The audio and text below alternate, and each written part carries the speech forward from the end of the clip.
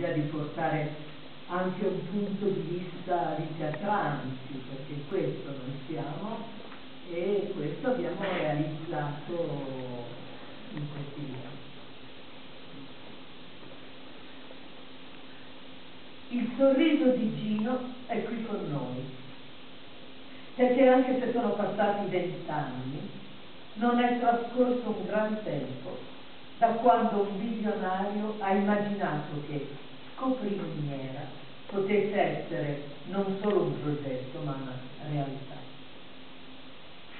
Gino se n'è andato più di tre anni fa, eppure è qui con noi perché una delle sue creature vive è diventata adulta e arriva al suo ventesimo compleanno. In un mondo dove tutto si consuma e si esaurisce in poco tempo, per lui che ha lavorato a stretto contatto con la politica, nessuno dei partiti di vent'anni fa esiste più. Scopriminiera compie vent'anni. Questa è stata la forza di Gino, di essere solido uomo di montagna, attento ad ogni passo, ma dallo sguardo ampio, che non si accontentava di quello che vedeva, ma sapeva gettare gli occhi e i suoi sogni ben oltre l'orizzonte. Proprio 21 anni fa sono venuto qui a visitare la Gianna, dietro a un suo invito, e sono entrato con lui Armando, un ex minatore, in una galleria di detriti fra travi rotte e abbandoni nell'oscurità, senza luce. Tutto era da immaginare e la fatiscenza e lo sfacelo potevano produrre più sconforto che immaginazione. Ma lui, mentre raccontava, sorrideva. Sapeva che ce l'avrebbe fatta e mi chiedeva di arrivare insieme al risultato.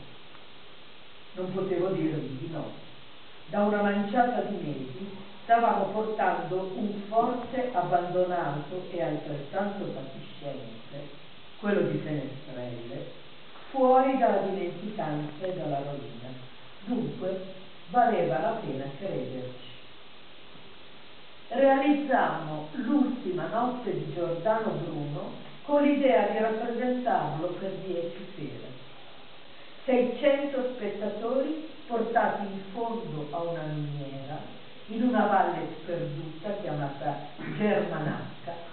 Sembravano già un gran risultato, fossimo riusciti a ottenerlo.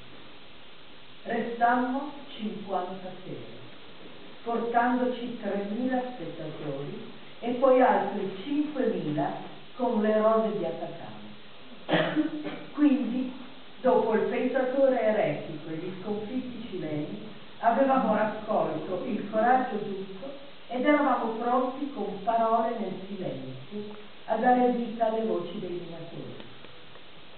Venne ancora tanto pubblico, ma la notte più importante la organizzò Gino portando 60 vecchi minatori che lì avevano lavorato e non avevano mai visto uno spettacolo di teatro in vita loro. Lo videro in una miniera, la loro miniera, quella che avevano vissuto come una casa. Si emozionarono, alcuni piansero e ricordo Gino raggiante.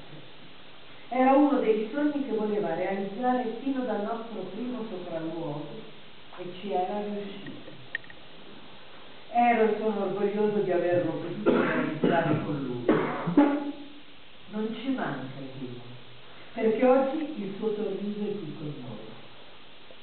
mancano i sognatori come lui, capaci di estrarre il futuro dove gli altri non lo sanno vedere. Renzo